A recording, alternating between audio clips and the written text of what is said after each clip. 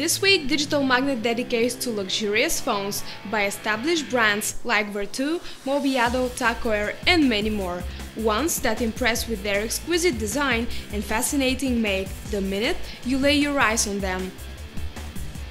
Today we're going to meet a well-known device in a gold shell. This is iPhone 5's limited Golden Dreams edition. We're already well aware of the device itself, that's why I'm going to introduce you to the design features and the materials used.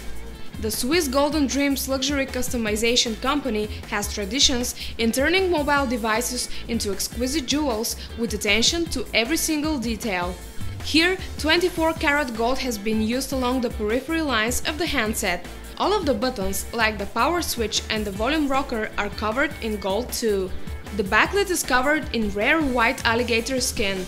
This model goes by the Desert name. The same one is available also in black and other various colors alligator skin, again with gold or chrome rims. And for tablet lovers who want to look unique, it will probably be good news that the iPhone is accompanied by the golden editions of the iPad 2 mini. The set of specifications here is again the standard one, nothing has been changed inside this device.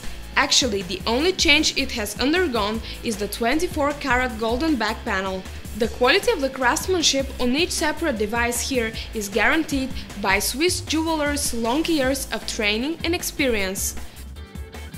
Now you can own one of the most popular devices in the world and still stand out.